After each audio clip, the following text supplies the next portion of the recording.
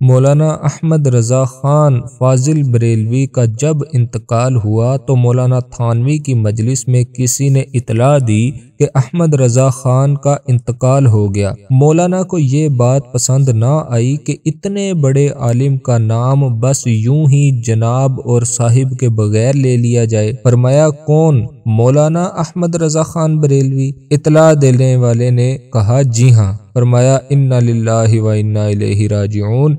आइए इनके लिए दुआए मगफरत करें। हाथ उठाकर काफ़ी देर तक इनके हक में दुआ फरमाते रहे। हाजरीन ने भी हाथ उठाकर दुआ की, लेकिन इनमें बाज लोग ऐसे थे जिन्हें ये बात नागवार खातिर हुई। जब मौलाना दुआ फरमा चुके तो एक ने कहा, हज़रत, हैरत है कि आपने एक बिदायती का नाम ताजीम के साथ लिया। मौलाना ने फरमाया, वो बिदायती नहीं थे, मोहब्बती थे। जब किसी को किसी से मोहब्बत हो जाती है तो इसमें गलू के इम्कान होते हैं। अभी मौलाना ने अपनी बात पूरी की ही थी। कि एक दूसरे साहब बोल पड़े कि हज़रत, वो तो आपको काफिर कहते थे, फिर भी आप इनके लिए दुआए मफरत फरमा रहे हैं। मौलाना ने बड़े ठहरे हुए लहजे में फरमाया, मियाँ, मुझे वो काफिर इसलिए कहते थे कि वो मुझे काफिर समझते थे। मेरी किसी बात से उन्होंने यही नतीजा निकाला होगा कि मैं काफिर हूँ।